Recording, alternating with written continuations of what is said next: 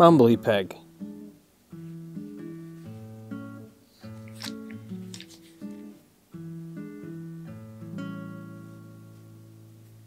That was the main thing I did with this knife. You see, this knife was one that I had as a kid.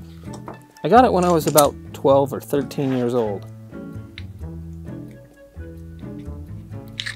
Couple weeks ago, I was back up in Canada visiting my parents and rummaging around looking for things that maybe I could restore that I had left in my parents' place as a kid. I came across this knife. It was in my dad's toolbox. It had been neglected for quite a while.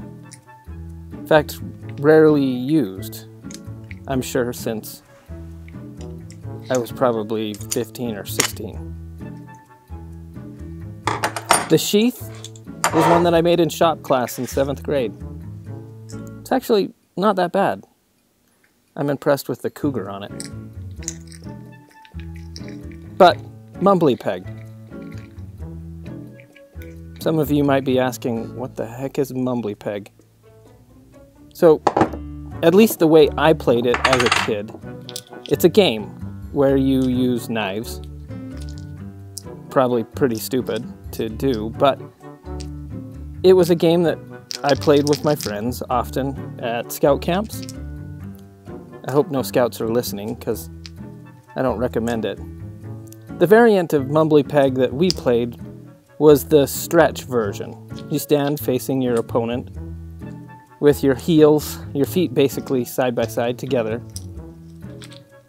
Opposite you as your opponent, and you take your knife and throw it to stick it in the ground, preferably flipping at least once or more.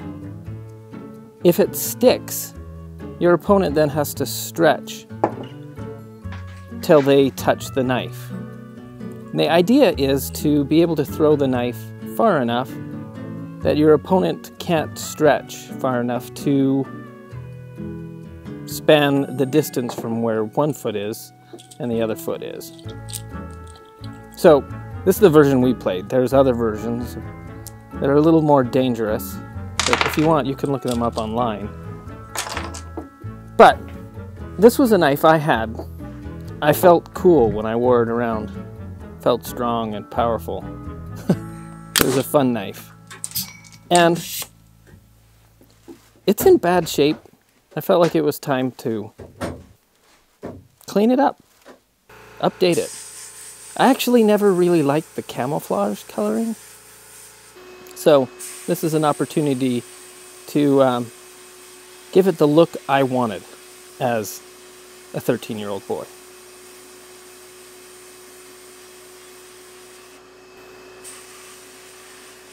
And who could resist using a sandblaster on this? Even, even on the blade, which probably wasn't needed because, well, you'll see. But it's kind of hard to resist. Also, some of those little nooks in the saw portion of the blade, sandblaster is probably the easiest way to clean it out.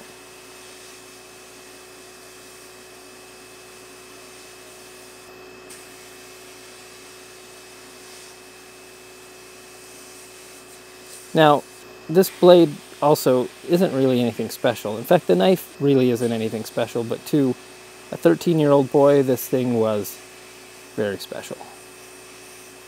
It came with a survival kit on the inside. It's a survival knife. I, I know that there was some fish hooks in there. Not sure what else. I'm sure there was a few other random survival things, maybe some matches or something like that. I think there was a a saw or something in there too that used like keychains or things like that. But the steel really isn't that great. I did notice while it was in the sandblaster that uh, it was putting off some little sparks, probably from from carbon in the blade, which is encouraging. Although the blade was pretty soft.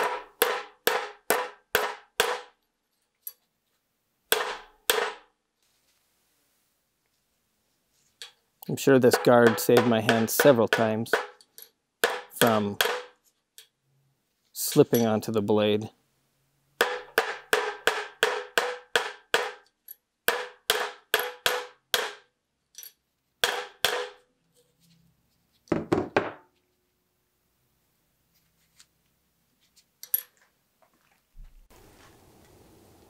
Now, this Rust-Oleum paint, I got it on sale, so that sticker was kind of covering up the name a bit.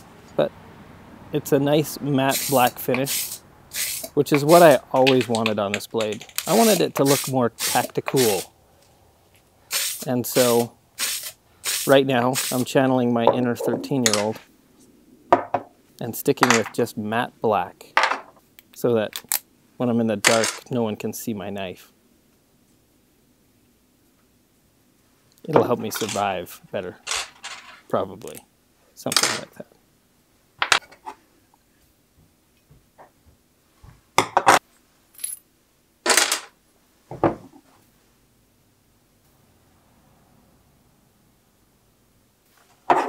Now this is one of the weak points in the knife. It often came unscrewed and it was, wasn't the easiest thing to attach all the time.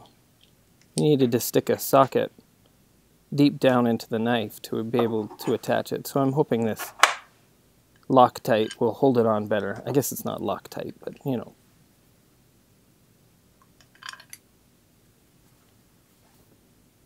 Hoping this will hold it better. Got to balance that washer just right. I remember doing this as a kid too every time I took it apart.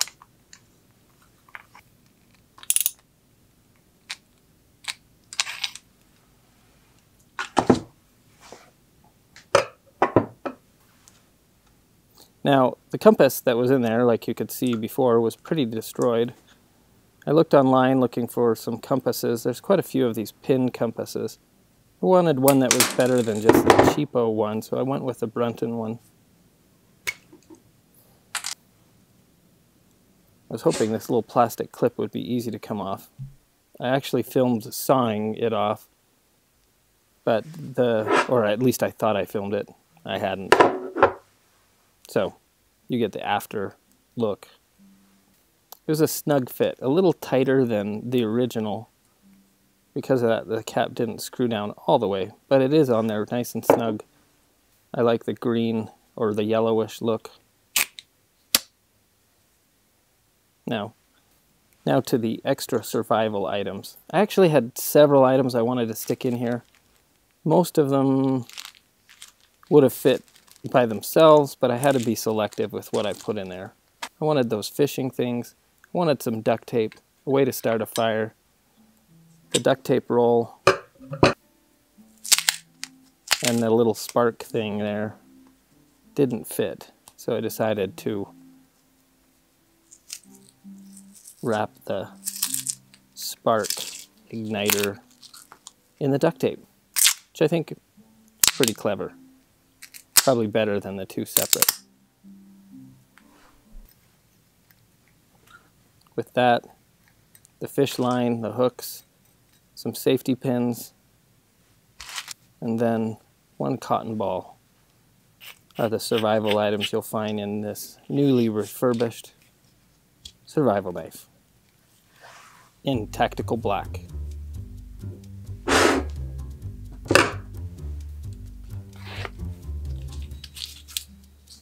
I think it looks better in the sheath than the camo did. This was the, the knife and sheath that I wanted as a 13 year old. Got my initials and a cougar.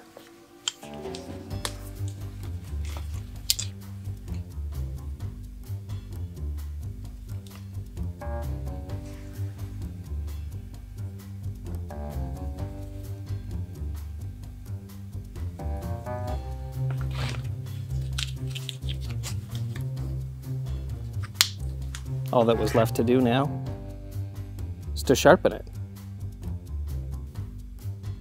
I tried to convince my oldest son this afternoon, actually, that uh, we should go play some mumbly peg with this. He had his girlfriend over and they decided that They didn't really want to. But it's probably for the best. Probably would have scuffed up my new paint job. Which is probably why the old one was all scuffed up.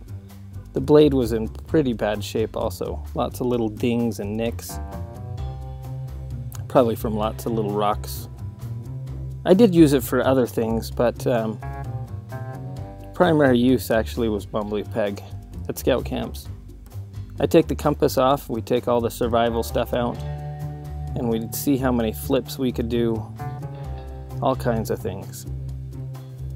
It was a popular knife. So, if you haven't already, don't forget to like and subscribe, and look for opportunities to give those old things new life. And I'll see you on the next video. Ciao.